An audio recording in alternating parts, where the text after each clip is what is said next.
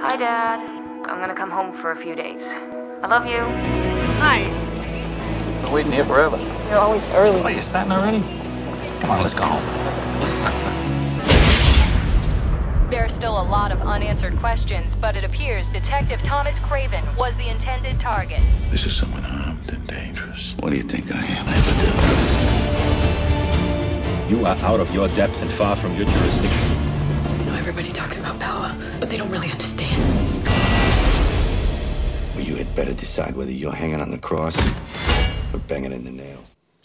Um, it, it actually it, it, it wasn't that tough, you know. Bob Bob saw the character going one way, and Martin and myself and Mel saw it going another, and it was a pure um, kind of disagreement on where Jedburgh should be in the film.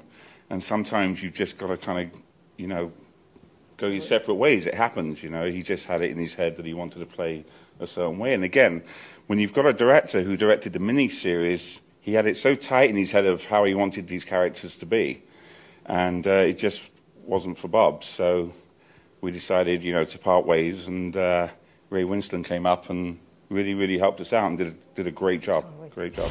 Welcome to hell. What does it feel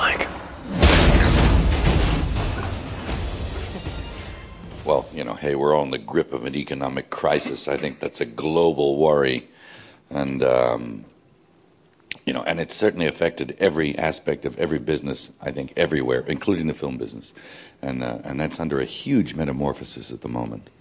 Um, a, a lot of changes have to be made to accommodate what the lack of funding, and uh, you have to be able to keep up quality uh, for less because it won't take that same kind of. It's not the old days anymore. Everything's changing, and technology's changing like crazy. I mean, I won't use film again. I'll just go digital. And why not? You know, it's as good. I think it's as good. Purists will say, no, we must have film. You know, it's like, nah. I've already shot on digital and it looks fine, you know. And um, so things are changing. And, you know, guys like Cameron, they're changing, a, they're making a whole new paradigm now. Everyone's in Hollywood is now, every movie is now, let's do 3D, let's do 3D. We're all copying that. Anyway. You're all so original. Yes. Mr. Craven, we have things to talk about. Like your name and what you're doing here? Like who shot your daughter. I want to know what my daughter did. Uh, it doesn't seem like sacrifice, actually, when when it comes to kids. Because, you know, you'll do a lot of things that you would never do for anyone else. But you'll even take abuse from them, it doesn't bother you. Because they're your kids, you know. But um, um, I guess uh, it's not really, it should, you should never even view it like sacrifice, I think. It's just a given, isn't it? I mean, my parents gave me everything of themselves, whatever they had, you know. And uh, in in many ways, I'm not as good a parent as my parents were, you know. But there's no limit to, you know, what you would give to your children. I mean, my son asked me for ten thousand dollars the other day, and I said no. Oh God, I don't know. I think protection and, and guidance, and try and teach them what's right. And uh, you know, kids growing up in Hollywood is a dangerous thing. You know, it's, uh, They get cameras, yeah. right, right. Um, but you know, you, you learn as you go along. You've never been a parent before. So you just kind of, you know, you're doing it in the blind kind of thing. Emma Charlotte Craven was flagged as a possible threat to the United States of America. My daughter was not the type. You know, everybody talks about power, but they don't really. Perhaps it looks more physically challenging than it was. I mean, it it, it wasn't. It, um, it didn't overtax me. Um, there, you know, you have aches and pains because you bump into stuff, and twenty-five-year-olds throw you up against walls and stuff, so it hurts. Okay, so you get a chiropractor in advance. Um, but um, challenging physically, not really.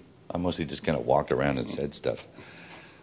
Except the, the most physical challenge was staying in a two shot while Martin seemed to be able, he cast people that were all over six and a half feet tall, trying to stay in a two shot. So it was like the whole time, you know.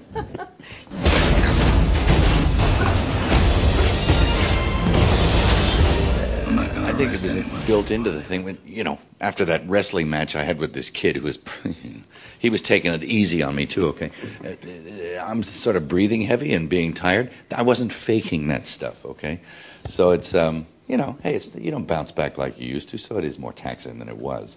But uh, hey, I can still. I'll bet I can still crank out about 17 or 18 chin ups. My daughter was in a Craven. I'm the guy with nothing to lose. Fasten your seatbelt. And I think that, that that primal rage lives in all of us. Who hasn't been awake at 3 a.m. planning a murder? Right, really, everybody, right? So, Of course. you know, do you do it? No. But do you plan it? Yeah. And you lose a little sleep before you realize you're just murdering yourself. So, um, you know, it's it's it's a part of uh, it's a part of the human experience, and all the great writers wrote about it.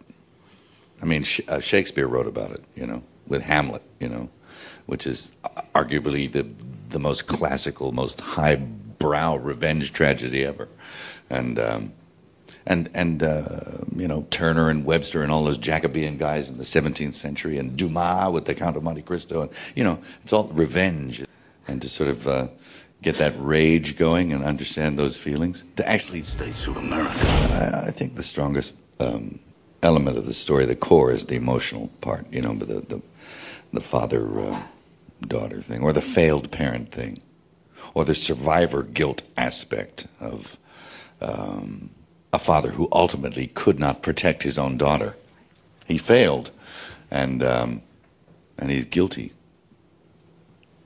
And he, he finds things like a, a gun and a Geiger counter and radiated hair, and he realizes he didn't know it all. So he's a, he's feeling pretty bad all all around, and he uh, tries to make that up, you know, posthumously through the film by not breaking down, but by going back to what he knows, just boring routine, and holding it together that way till he can give his life to it, because that's all he's got.